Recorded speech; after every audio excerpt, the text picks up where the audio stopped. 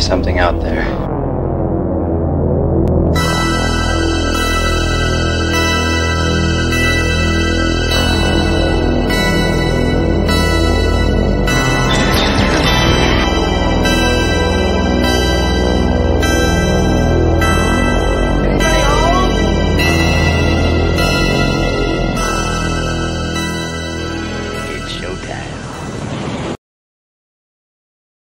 Hello, everybody, and welcome back to another lovely episode of excerpts from David Lubar's Curse of the Campfire Weenies. I actually got a request to make this video. A lovely gentleman by the name of Eli was listening to the first one and uh, mentioned this story in particular. So I think this is a great starting point for us. I'll uh, I'll go as long as I can because god damn it, I love doing these videos. So I I am glad you enjoy listening to them. So without any further ado, get ready to hear me oof, just butcher the pronunciations on this one.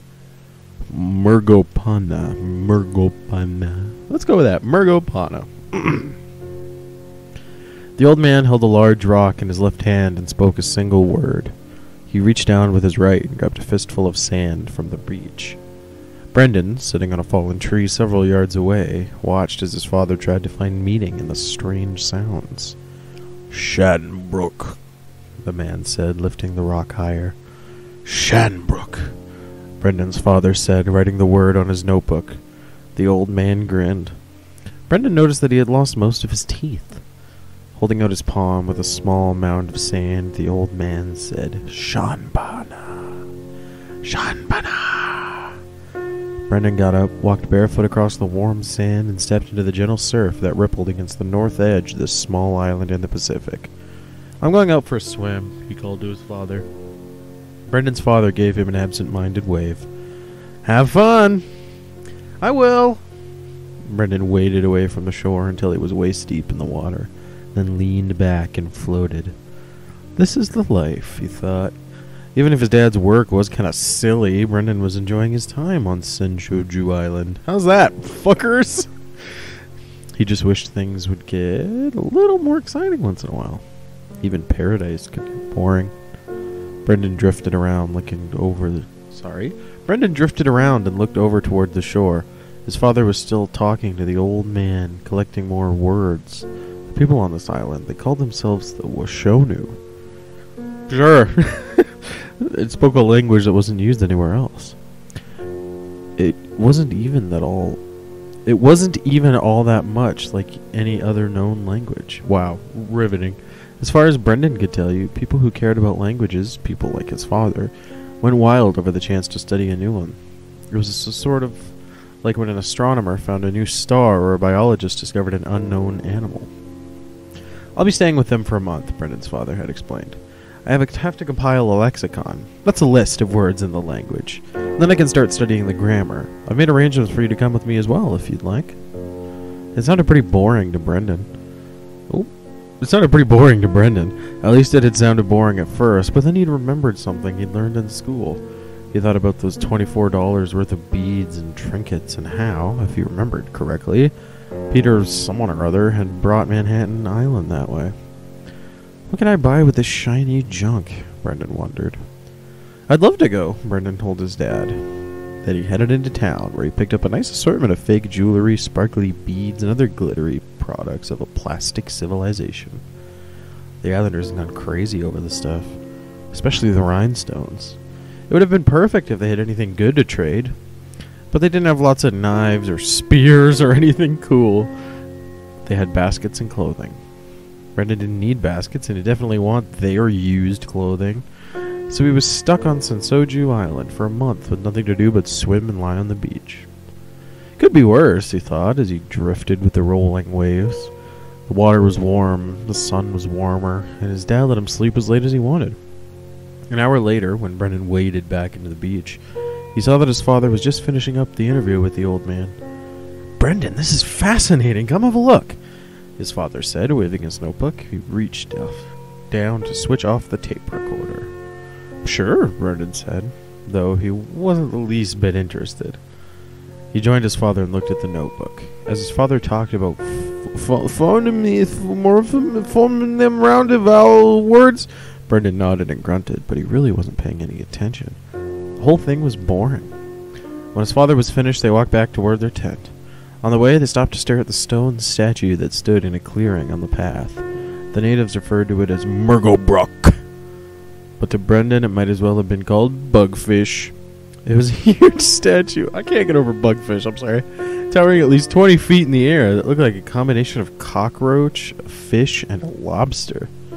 The thing that always caught Brendan's eye was the mouth, with a pair of jaws lined with sharp teeth made of carved white shells. A fin with spiny bristles ran along the creature's back.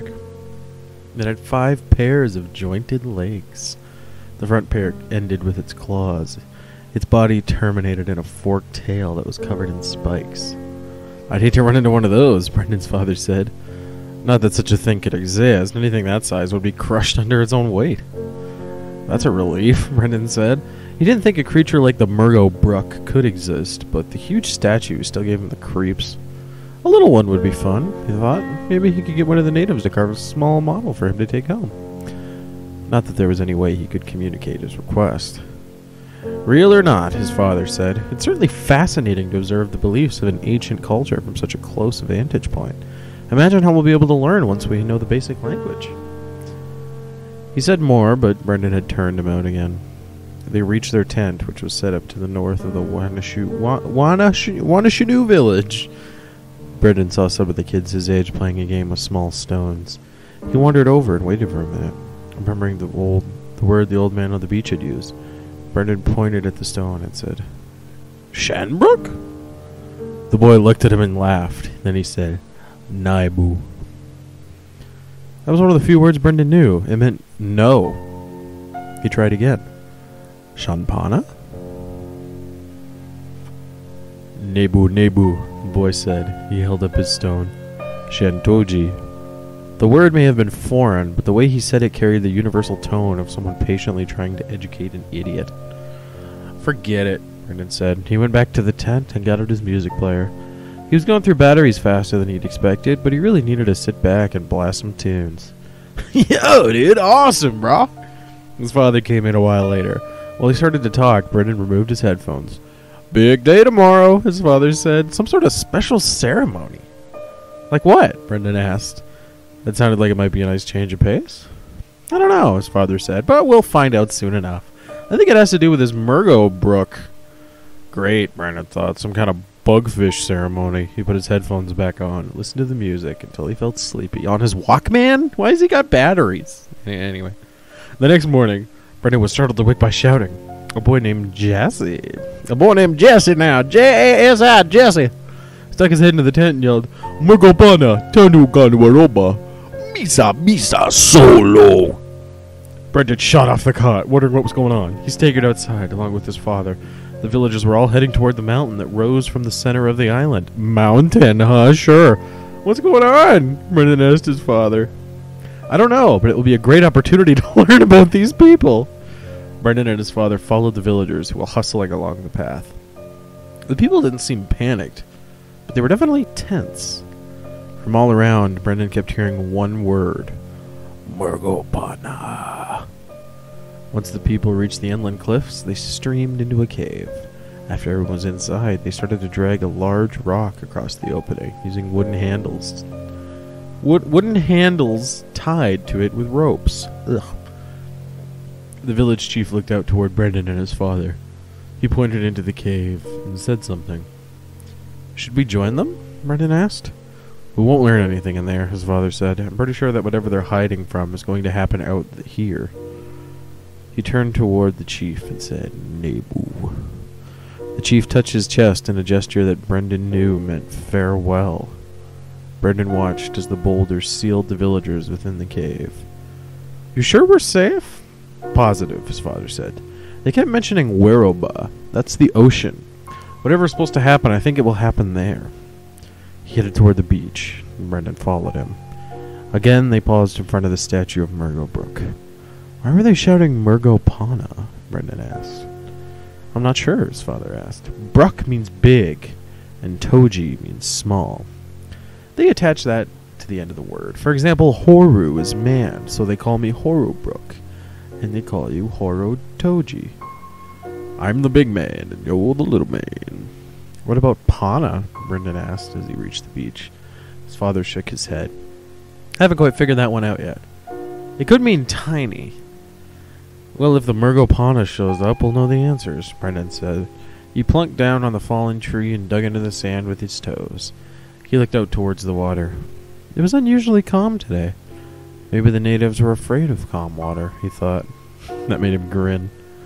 He glanced down at the sand. Shanapana. The word bubbled up into his mind. Shanbana? Brendan thought back to the day before. The ocean grew less calm. The water started to churn. Brendan turned towards his father. Shanbrook means big rock, right? Very good, his father said. And I thought you really weren't interested in my work. Brendan looked ahead. The water almost seemed to be boiling now. It was frothing and splashing like a hard rain was pounding it. But the sky was clear. Brendan rose from the fallen tree and took a step towards the ocean. Shanpana, he thought. That's what the old guy called his handful of sand. A handful of sand, many little rocks, many little. Brendan looked at the sand at his feet. Then he looked at the water just ahead of him. The surf practically exploded into a burst of activity. Murgopana, Brendan said, suddenly understanding. Murgo Bruck was the huge statue. It wasn't real. It was far too big to exist. But Murgopana, that was different. Brendan screamed as the Murgopana burst from the surf and swarmed onto the beach. They looked like the large statue, but each one was only the size of a scorpion. There seemed to be hundreds of them, maybe thousands. They charged onto the sand, wave after wave, the air filled with the clicking of their claws as they headed toward Brendan's father. Pana! Brendan's father shouted. I know what it means now! I'm way ahead of you, Dad, Brendan said. He turned to run. But the many small creatures, the Murgopana, had another quality Brendan was about to discover. They were small, but they were also very fast. Interesting, interesting, interesting. Uh, uh not bad. Uh, obviously, the I'm a, I'm a, I'm a wee bit biased because of all the weird ass words I, I had to learn, like Mogopana, but uh, interesting. I don't really like it or dislike it. I I'm just interested, and let's keep that that interesting train rolling. This one I vaguely remember, unlike Merkopana. So let's see what we have in store for us with a little tale called "Eat Your Veggies." I'm gonna clear my throat, have a little sip of water here. All right. Eat your spinach, Ed's mother said. She pointed to the mushy green puddle of overcooked goop that quivered on the otherwise empty plate. No way, Ed shook his head. Why should I? Bad things happen if you don't eat your vegetables, his mother said. Yeah, right. Ed took a deep breath. He was not going to eat that spinach no matter what. Ed pushed back his chair and stood. He took his plate and walked over to the garbage can. Then, watching his mother out of the corner of the eye, he scraped the green glop into the garbage and waited for the explosion. She didn't say a word. Ed wanted to say, See, nothing bad happened. But he knew that he'd be pushing his luck if he spoke. So he just gathered up the garbage bag and took it to the curb, removing even the slightest possibility that he'd have anything more to do with the spinach. The tall bag fell on its side, but Ed didn't care. As he walked back toward the house, a mouse came running from underneath the porch. Its keen sense of smell picked up the marvelous aroma of cooked vegetables. The mouse started gnawing at the bag. In seconds, the wonderful spinach gushed onto the ground. Soon, several other mice came, drawn by the aroma and the sound of a feast. Ed walked into the kitchen, still half amazed that he'd gotten away with it. He looked over at his mom. She was washing dishes and paying no attention to him. Down the street, a cat lifted her head, her ears twitching at all the sounds and scent of prey. She rose slowly, stretched, and padded along the sidewalk toward the mice. There's no need to slink and stalk. Prey was busy feasting and would never know she was there until it was too late. Ed put an empty bag in the garbage can, as opposed to putting a full bag in the garbage can. Normally, he would have waited until he was home to do this, but now he saw the can as his partner in the war against vegetables. Future dinners would be so much more pleasant. Ed considered the joys of dumping Brussels sprouts or tossing out lima beans. Across the street from Ed's house, a dog spotted the cat and pulled at the rope that held in front of his yard. As the dog yanked, the poorly tied rope slipped free. The dog leaped over the fence and started across the road, barking and growling. Ed went through the kitchen to the living room, ready for the best part of the evening. He sat on the couch and picked up the remote control. Down the street, a car carrying a man who was coming home from work swerved to avoid hitting a dog. The car hit a utility pole instead. The airbag worked, saving the driver from harm, but the pole broke. It fell, snapping all the wires, including the one that brought cable television to Ed's home. Ed turned on the television. There was nothing but static. He tried another channel. It was dead. They were all dead. He shouted, The television isn't working! Well, his mother cried from the kitchen, maybe next time you'll eat your vegetables. Okay. Alright, campfire weenies. That's cheeky. I, I was expecting it, like, you know, the fucking power line falls on his house and kills the kid. But David Lubar, man, especially after the Alexander watches a play, I thought that would be a lot more crazy, crazy surrealness. Well, huh? I still kind of like it. It's it's it's dumb and cheeky, but you know, I I, I must admit I have a slight soft spot. Inquire within is the name of our next tale. This has to be some kind of joke, Quinn said, holding up the current issue of The Sound of the Scene, the local free weekly paper that covered music and entertainment. Let me see. Delia leaned over to read the ad. Turn in witches, make money, help protect society. It's gotta be a joke or something, Delilah said. It's probably a publicity for a play or some movie. I don't know. Quinn pointed to the bottom of the ad. The address is real. Let's go check it out. Delia sighed, then got up from the couch. Whatever. Quinn wasn't her brightest friend, and, and this would turn out to be something totally stupid. But there was nothing on the television, and she was bored. You can say TV, dude. You, you- don't gotta say television all at once. The, the place was way downtown in a little street filled with junk shops and places selling stuff only tourists would want. There was no name on the window, just a small sign that read, Inquire Within. Delia tried to look inside, but the place was far too dark for her to see anything. It's closed, she said. Quinn turned the knob. It's open. She went inside. Delia followed her. There was nothing inside except for a table with four chairs. A young woman sat on one of the chairs, drinking tea. We want to find out about turning in witches, Quinn said. Delia expected the woman to laugh at her or toss them out, but instead, she smiled, pointed to a chair, and said, Have a seat. What's the deal? Delia asked as she sat. Witches are a threat to us, the woman said. Tea? No thanks, Quinn said. The woman's voice sounded normal to Delia, but her words were crazy. There are no witches, Delia said. The woman shrugged. Then you can't make any money here. Quinn glared at Delilah. Delia? Oh, has it been Delia this whole time? My god, it's it's Delia, isn't it? Or is it Delilah? No, I think it's missing an L for Delilah. Anyway, let's say they're witches. What kind of reward do you want to pay? Hmm? Five hundred dollars.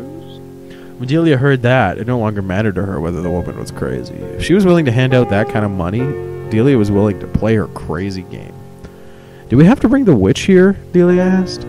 She had already asked a couple people. She already had a couple people in mind. Creepy, spooky people who deserved to get in trouble. No, the woman said, just bring the information. Delia stood. Great. Once they got outside, Quinn asked, So how do we find a witch to turn in? One second, sorry. Uh, I'm sorry. Real quick pause. Alright. We just look for the right signs, Delia said. You know, spooky lady who lives alone. Maybe bad things happen to her enemies, or maybe she never ages. Miss Miller! Quinn shouted. Naming their art teacher. Right, Delia said. She's got that wart on her chin. And remember what happened with Tony Bedner after he made fun of her in class? Oh, yeah, that was awful. Delia had forgotten about that. Tony had fractured his leg the next day, slipping on a perfectly smooth and dry piece of sidewalk. He also knocked out three teeth. Even if Miss Miller wasn't really a witch, there might be enough evidence to earn Quinn and Delilah the reward. Let's go back to my place and make up a list, she said. By the end of the evening, the girls had come up with nine people who might be witches. They had strong evidence for at least three of them. Oh, sure, in the kangaroo court. Who would have thought that there were so many witches? Quinn said. Delia nodded. She still didn't really believe in witches, but she had to admit there was a lot of proof that there was something strange about these people. And if Delia and Quinn got paid for even one of the nine, that would be a lot of money. What's going to happen to them? Quinn asked. You think they'll get in trouble? That's not our problem. Delia put the pad away. Then she yawned. Wow, it's kind of late. I'm getting pretty sleepy. Do you mind if we uh, don't watch a movie? That's fine. Quinn got up and headed for the door. See you tomorrow. Yeah, see you tomorrow. As the door closed, Delia grabbed the list. It was late, but maybe the place was still open. I came up with all this, she thought, or at least most of this, so I split the money with Quinn. Besides, Quinn kept acting like she didn't want to go through with it. But how to keep Quinn from finding out? Delia smiled, grabbed her pen, and added Quinn's name to the list. She'd get the money, and then, in the morning, tell Quinn she changed her mind. Then, if Quinn went by herself, the woman would call her a witch, and Quinn would think she was crazy and go away. Perfect. Delia headed out. The door was unlocked. The woman was there. I found some witches, Delia said. The woman seemed excited. She pointed to a seat. Delia sat, then slid the list over to her. The woman spent a minute reading the list. Then she reached under the table and grabbed a metal box. She put it down and flipped open the lid. Delia gasped as she saw. Delia gasped as she caught sight of stacks of cash. I just need to ask a couple of questions about East Gentry. We have to be sure before we take action. This is a very serious business. No problem, Delia said. Tell me about the first one, the woman said. She poured a cup of tea for Delia.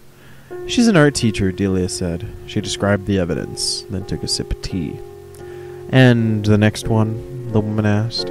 Delia told the woman about her neighbor, Miss Savaro. She talked for a long time, trying to hold off the moment when she had to make up lies about Quinn.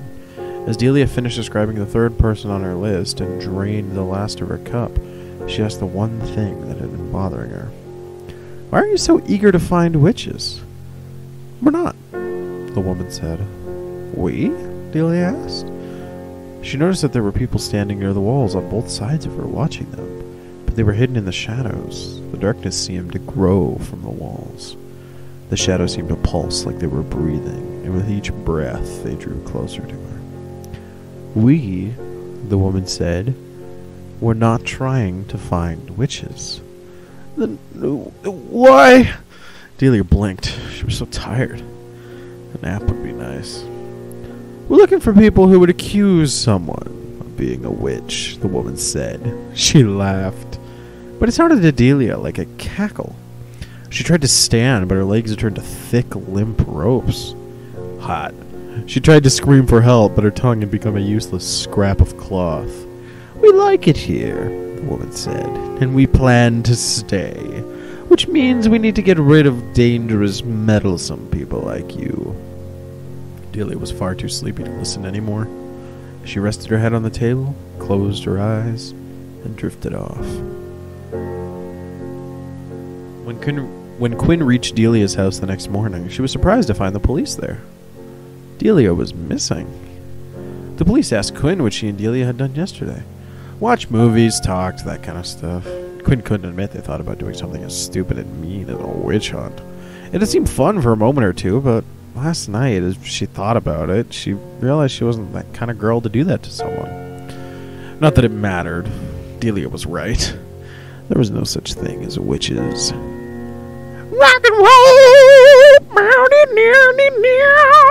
Damn, that that's that's that's a good one.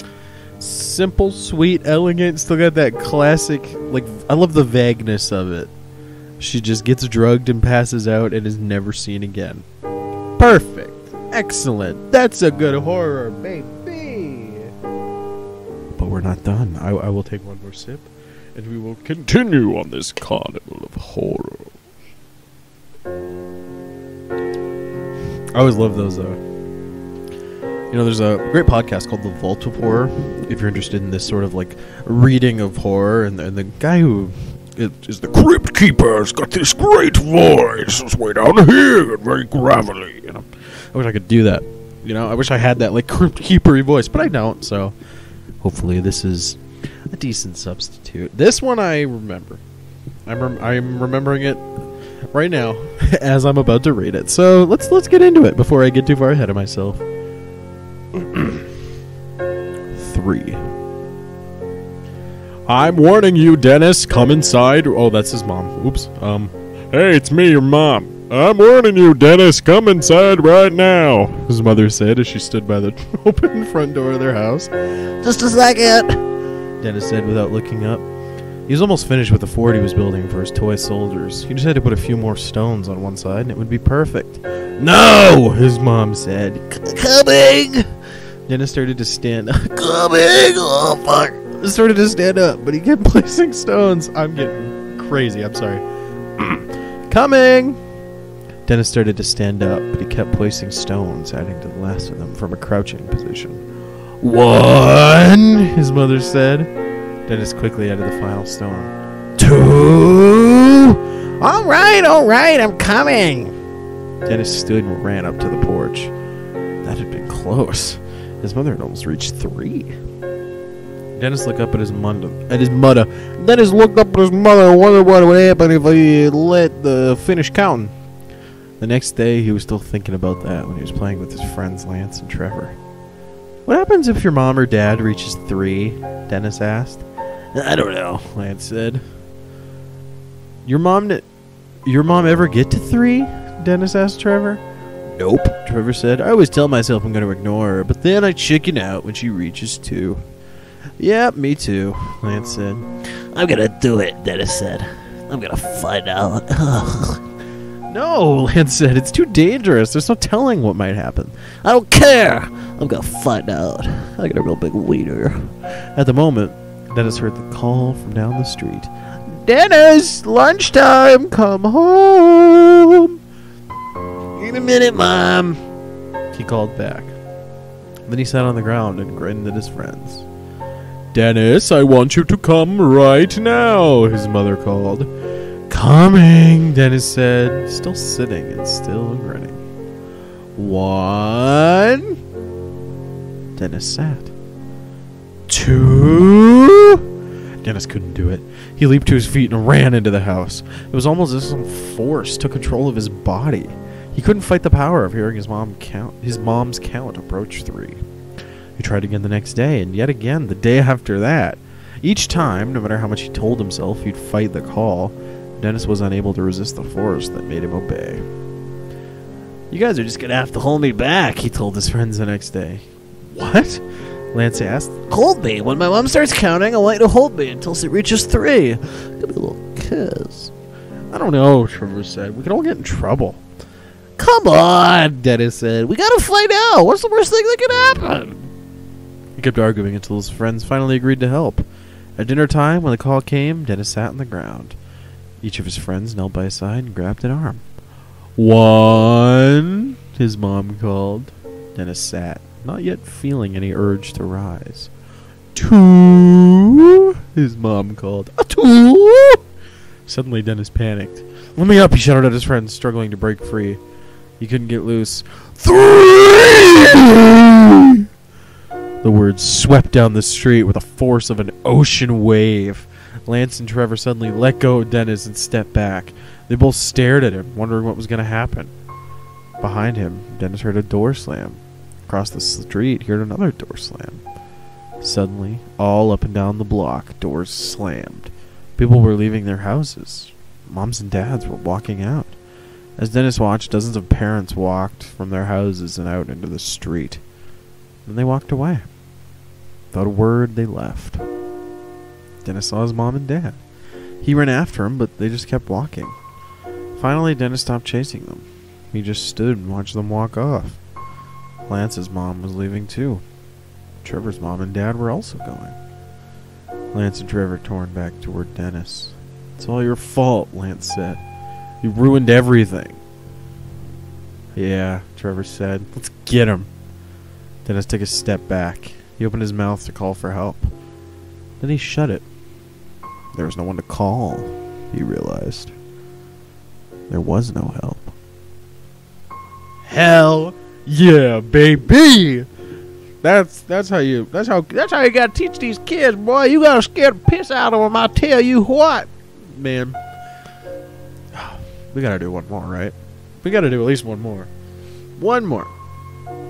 Fat face. It's funny. Remember earlier when I was like, "Oh, I fucking remember this one." I was wrong. So,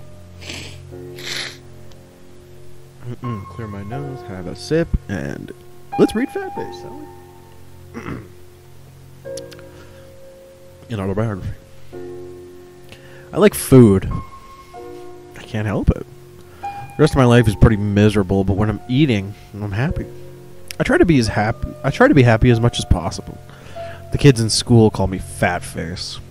They call me worse things too, and they tease me. They run up behind me when I'm walking home and poke me real hard. They know I can't catch them. It's a good thing for them I can't run fast. If I caught one of them, I'd pound him until he said he was sorry. I tried to lose weight. Heck, I tried a hundred different times. I just can't stay on a diet. The worst problem is the older kids. They're too big for me to hit, and they love to torture me. Especially Ronald Voljo. He's two years older. He's been kicked out of school five times. He thinks he's so cool because all the girls say he's good looking. He acts like some kind of movie star. I was walking home from school when Ronald snuck up on me from behind. At least it wasn't the fucking hamburglar. I was just about to unwrap my Choco Squirt Bar. It's my favorite. Nice gooey chocolate. Nice gooey chocolate with caramel cream. Unst! And little hot pieces of that buttery candy. Man, it's good. And after you eat it, the hard pieces stick to the back of your teeth. So there's something to enjoy for a long time. Woo! It's a real mess to eat, though. Not that I mind. I was so busy thinking about how awesome that bar would taste that I didn't notice Ronald. I didn't even know he was there until he snatched the Choco Squirt from my hand. Got it! He grinned at me with a face full of perfect teeth and waved my Choco Squirt in the air. Fuck, he's hot. I got a candy bar! I got a candy bar! Get back back! I said and took a step forward. I don't think so. I don't think so. oh! I took another step, but I didn't get too close. And if he turned and ran, I'd never catch him. Why are bullies always so fast and strong? Come on, it's mine. Give it back. Oh, is Fat Face gonna cry? This Fat Face want his gooey chewy candy? Stop it. He reached up and started to tear the wrapper. He kept grinning, giving me the same smile he uses in school to get himself out of trouble with the teachers. Don't! I said, please don't! I said, I clenched my fist. It looks so good, I can't wait. He opened his big mouth and bit down on the Choco Squirt Bar, chomping it right through the wrapper. Rage flooded me, washing away all common sense and caution. Screaming, I charged at him. He laughed and jogged away.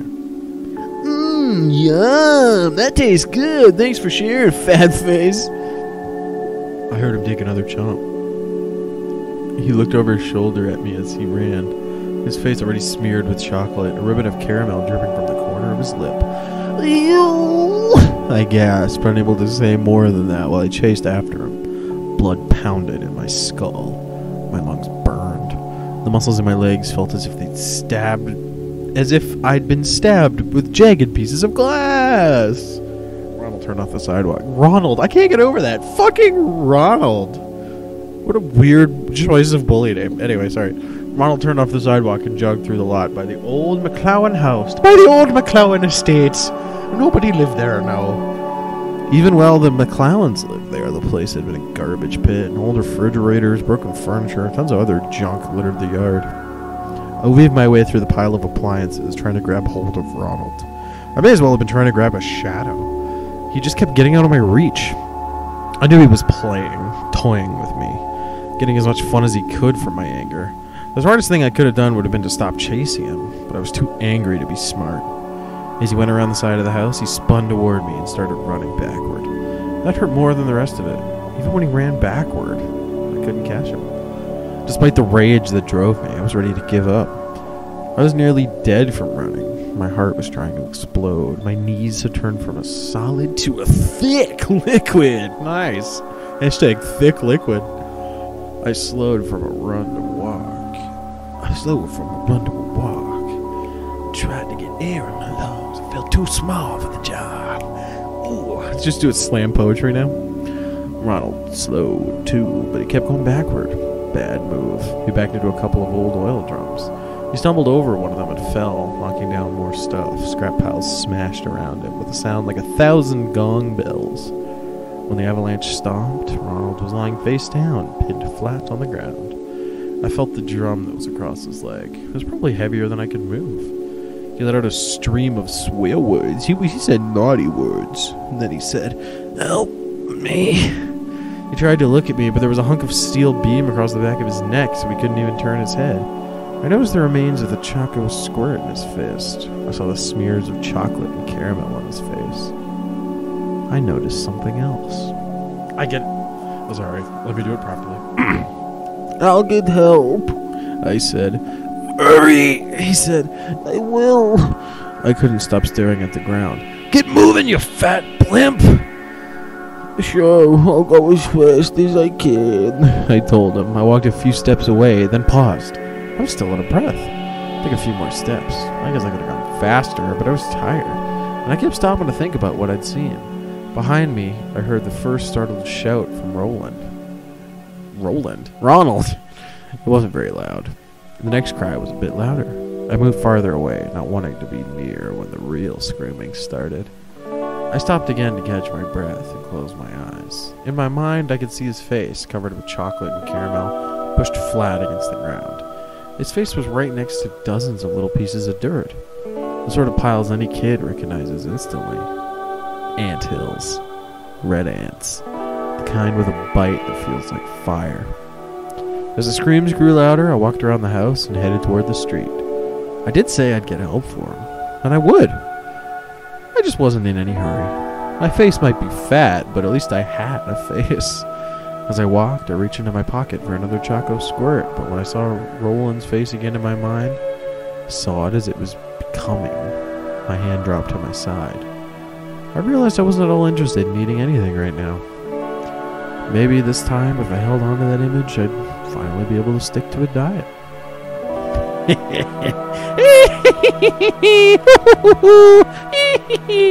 it's me, Tom Savini, on the back of a van, throwing Creepshow comics at you. Oh, I do. Do we do one more? I'm, I'm having such a gay old time. I hope you don't mind me digging around with the, the source material. a bit. I'll, I'll never be able to read it perfectly straight, you know, like Simon and Schuster Audio presents. So like I have to make it fun. So I, I hope you, are enjoying. One more, one more. This is the last one. This is it. One more for all the all the all the, all the beans, baby. This is the soda fountain.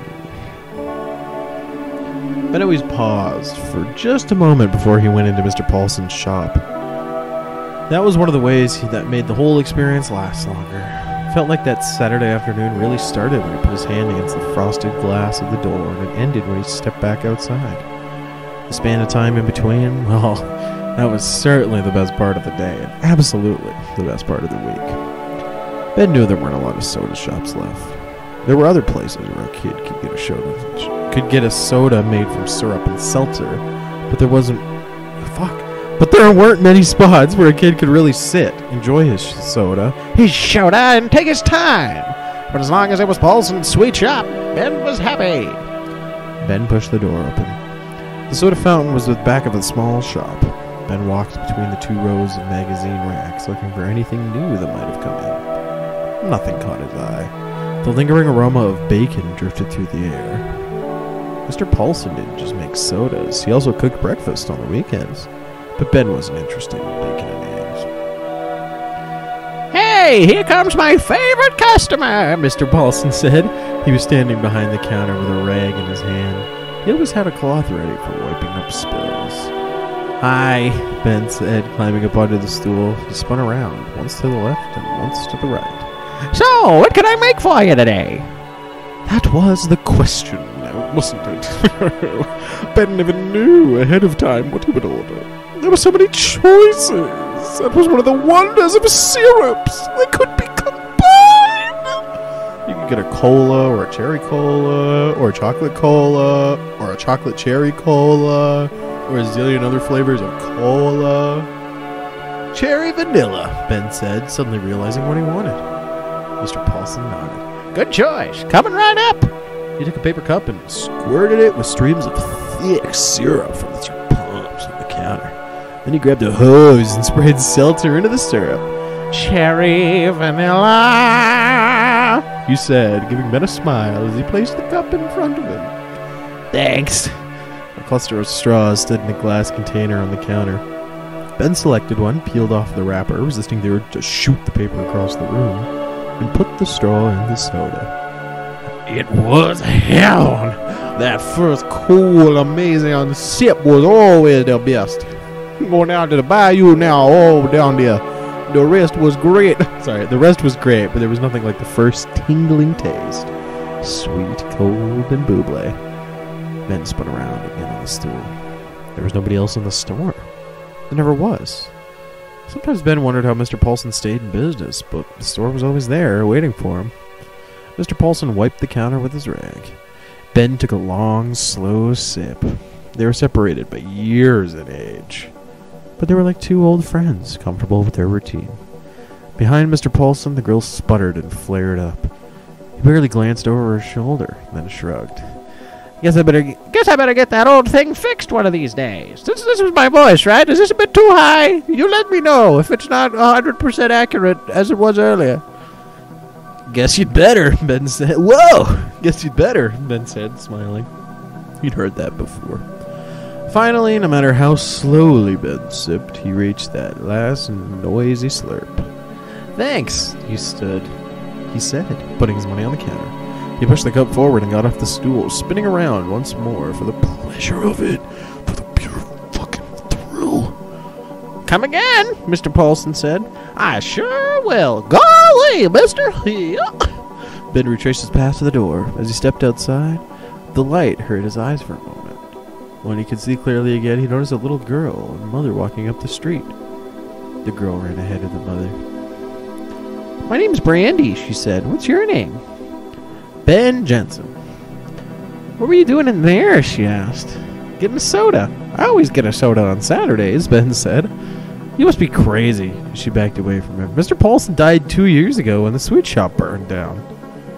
Ben opened his mouth, but he couldn't think of a reply. There really wasn't anything worth saying to this silly little girl.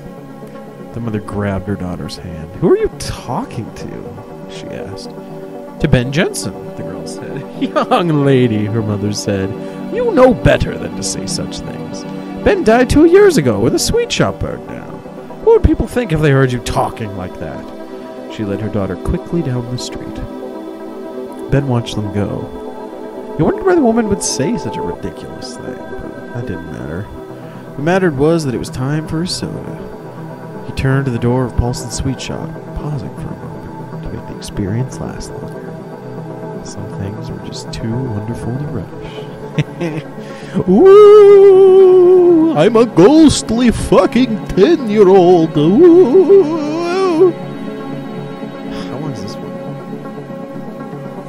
Do sniffles. I, I'm having such a good fucking time, y'all. I don't want to stop. So, alright. For real, the last one, I'm looking at my timer here. We're like approaching 45 minute, the hour mark. I'll clear my throat. We'll do this last one. Bada bing, bada boom. That's the video. So th- for real, the last one. Just let me prepare myself.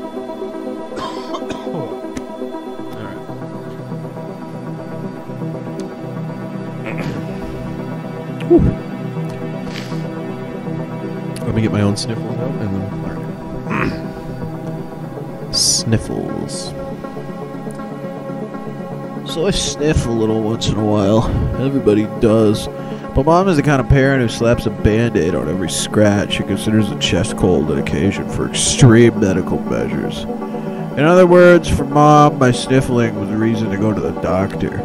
But not any doctor. Mom was taking me to see an allergist.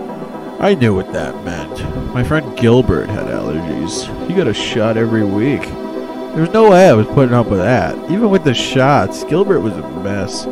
He stayed away from any place that had cats, dogs, birds, or rodents. I'm actually allergic to cats and dogs, so I feel your pain, dude. He avoided all kinds of foods. Again, I yep. He wouldn't even come over to my house after he spotted a tiny bit of poison ivy growing on the side of one tree. This is completely unnecessary. I told my mom as she pulled into the parking lot. I didn't hear her answer. My attention was snagged by a totally awesome car. It looked like one of those sports cars they only made 10 of a year. Maybe a custom built Lamborghini or Maserati or something. The license plate said Sneeze DR. Sneeze Doctor. Very funny. Like a snot man was already taken. Went to the waiting room and took a seat. All too soon, a nurse popped her head in and said, A Norman? The way she was smiling, I knew I was going to suffer some serious pain. In my pant, though, I followed her down the hall into the examination room. She took my blood pressure, then patted my head down and said, What a good boy you are. And then she referred to herself as Mommy and asked if I wanted to be stepped on. I wondered whether I should bark or maybe tell her what a good nurse I was. Dr. Grandier won't be right with you, she said. Sure enough, Dr. Grandier came in a minute later carrying a clipboard. So, uh, he stopped and glanced at his clipboard. Norman, you got allergies? Not really, I said, catching myself in mid sniffle. There's nothing to be ashamed of. Allergies are very common, but I can help. Where do you go to school? I told him. Do you play sports? Soccer, I said, and basketball. You have a lot of friends? I'm pretty popular. Relatives? A bunch. What's this have to do with allergies? I was dying for one good sniffle, but there was no way I was going to do that in front of him. I was still hoping to prove to him that I didn't have any allergies. I'm just getting a sense of how many people you come in contact with, he said. I looked over at the counter that ran along the two walls. It had dozens of small bottles on it. Are you going to test me? That's the worst thing Gilbert told me about. The doctor scratched his arm with all this different stuff to see what he was allergic to.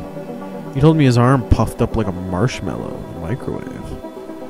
Dr. Grandier shook his head. No, I don't think that'll be necessary in your case. One shot should do the trick.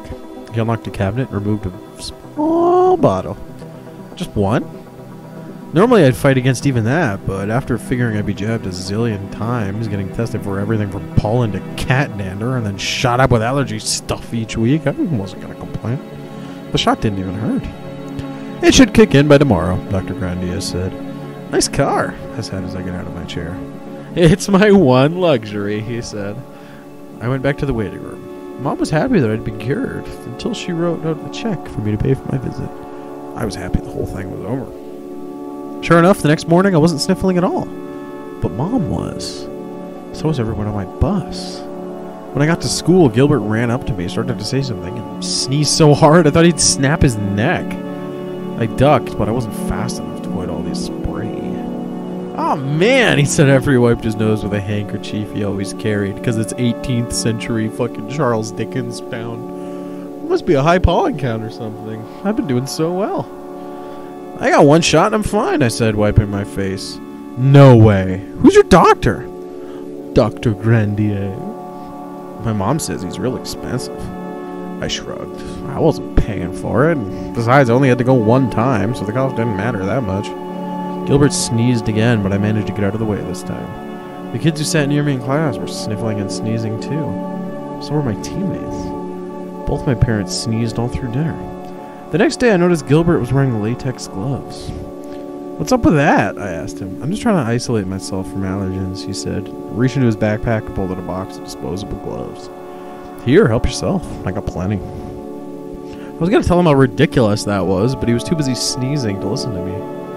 I did grab some gloves, but only because they make cool water balloons. I'm not stupid, but it still took me a couple days to figure out what was going on, another day or two to convince myself I wasn't crazy. Dr. Grandier's allergy shot had worked in more ways than one. Thanks to him, people were allergic to me. And anyone I got near started sneezing. I went into town that day after school and waited until he came out of his office. Ah, Norton, right? He said, and he looked at his car keys. Norman. Whatever. What'd you do to me? I asked. He tried to look innocent. I just gave you an allergy shot. Right, and now everyone's allergic to me. He opened his mouth like he was going to deny it, but then he just shrugged and said, It'll wear off in a couple of weeks. You should take that as a compliment. What? That formulation is pretty hard to obtain. I wouldn't waste a shot on someone who isn't popular. You turned out to be an excellent choice. I've already picked up plenty of new appointments. He turned away from me and reached toward the door of his sports car. Wait, I. He looked over his shoulder at me. What?